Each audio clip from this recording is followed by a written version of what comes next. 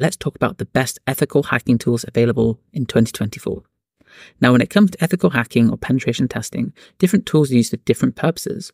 Whether you're assessing network security, cracking passwords, finding vulnerabilities, or hacking Wi Fi networks, having the right tool is crucial. And this is why hacking tools matter. They help ethical hackers and cybersecurity professionals to identify weaknesses and secure systems before malicious hackers can exploit them. Now, what I'm going to do is I'm going to cover the four most important categories of hacking tools, and I'm going to pick my favorite tool for each. So hopefully you can use these as a jumping up point to kickstart your interest in ethical hacking. Now, to start with, what is network hacking? Well, this involves monitoring and attacking a network to identify vulnerabilities, to gain unauthorized access or gather data. This helps security professionals find weak spots in network infrastructure. Now, for me, my favorite tool when it comes to network hacking has to be Live Action.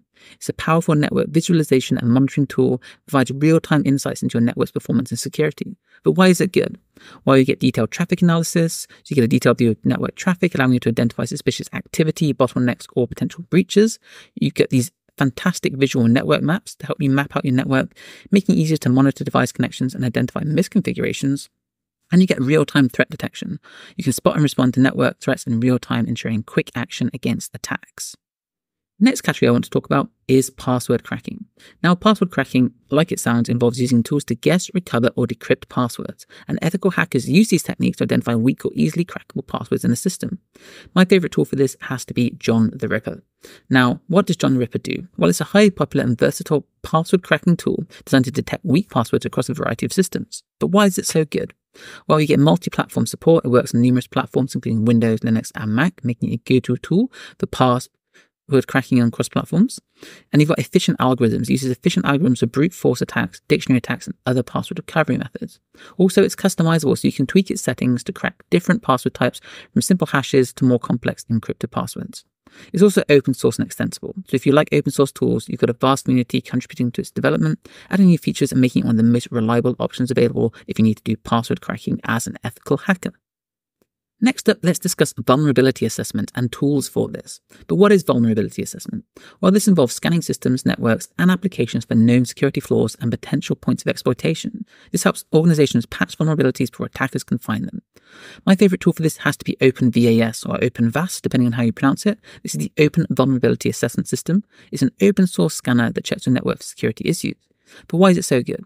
Well, it provides a thorough scan of your systems, identifying a wide range of vulnerabilities in servers, applications, and network devices. You also get the benefit of regular updates. It's regularly updating its vulnerability database, ensuring that you're scanning for the latest known threats. It's also highly configurable, so you can customize the scans to suit your specific environment, making it useful for both large and small scale networks. And as an open source tool, it's freely available. An active development community ensures that it remains up to date with the latest security practices. So there's a lot to love about OpenVAS. Finishing things off, let's talk about Wi Fi cracking. And what is Wi Fi cracking? Well, again, it sounds fairly obvious, but this involves exploiting weaknesses in wireless networks to gain unauthorized access. And ethical hackers use these techniques to identify insecure Wi Fi networks and improve their security. My favorite tool is Wireshark, or if you're from the original version like myself when it was Ethereal, although that might be beyond some people who are newer to the game.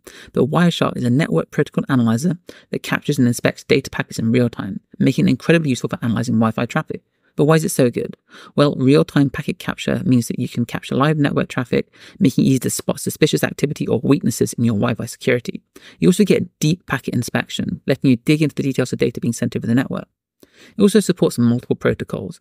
So that means it supports a wide range of protocols, making it versatile not just for Wi Fi, but for many types of network traffic. And lastly, it's got a fantastically user friendly interface. This clean, easy to navigate interface makes it accessible even to beginners of ethical hacking and network analysis.